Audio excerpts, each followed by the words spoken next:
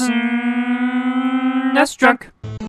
Back when the NES Classic was released, one of the biggest criticisms was, of course, about the game selection. One of the loudest complaints being, where the heck is River City Ransom? Alright, so why this game? What's the big deal? Well, let's start with a little history. This game is known as Street Gangs in PAL regions, and it was developed by Technos Japan, the same people behind the Double Dragon series, as part of the Kunio-kun series in Japan. It's the third game in the series, coming after Super Dodgeball and Nekketsu Kōha Kunio-kun, known in North America as Renegade. Those games are decent enough, but City Ransom stands alone in the NES library because it's the rare NES action game that attempts something resembling an open world, and it pulls it off successfully. Okay, obviously it's not truly open world, it's still pretty linear, but still, it's a little bit like taking Double Dragon and putting it in a sandbox where you can wander around freely, beat up enemies, and collect money so you can buy food and items to buff up your character. And that's part of what makes this game stand out so much the RPG elements, where you save up the money you find defeating enemies to buy new fighting techniques, like stone hands or dragon feet, as well as the story and just the goofy personality this game exudes. I mean, just take one glance at some of the enemies you're beating up. Their faces are cartoonishly contorted like something out of a Tom and Jerry cartoon, and there's lots of different enemies you encounter throughout the game. I swear, one big reason this game hooked me is because I just wanted to see all the different expressions they came up with. And of course, there's the infamous barf that's emitted once they're vanquished.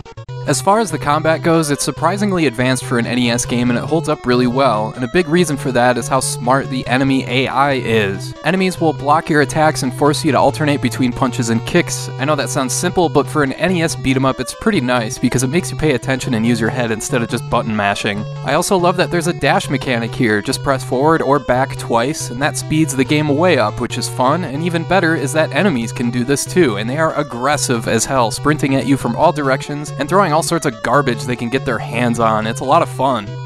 The thing is, though, River City Ransom doesn't have the best balancing. You'll move from one screen to the next, kicking ass left and right, and then you'll run into new enemies and they'll absolutely annihilate you. In other words, you gotta grind a bit to make sure your strength is up to par when you run into newer enemies. And I know some people hate that, but in this game, I didn't mind, just because the core gameplay is pretty satisfying, and plus the sound design is well done. And it certainly helps that the music is some of the most recognizable in any NES game ever.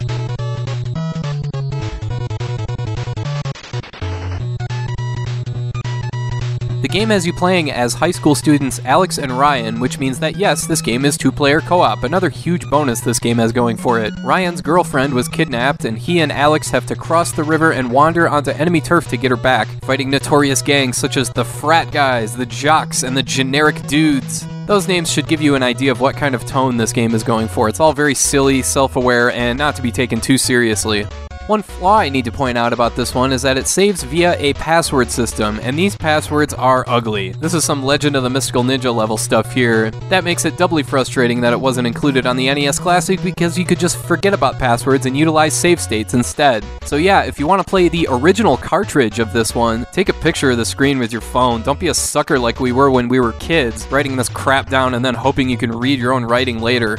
River City Ransom has since received remakes on PC Engine CD-ROM, Game Boy Advance, and re-releases on every Nintendo Virtual Console, including the Nintendo Switch Online service, so at least the game is available there, and if you haven't played this one, it's definitely worth checking out. It's easily a top 20 or maybe even a top 15 NES game. And hey, if you dig this, the Kunio-kun series has plenty of other games you can dive into, and there's even River City Ransom Underground, a modern take on the game that you can find on all sorts of different modern platforms.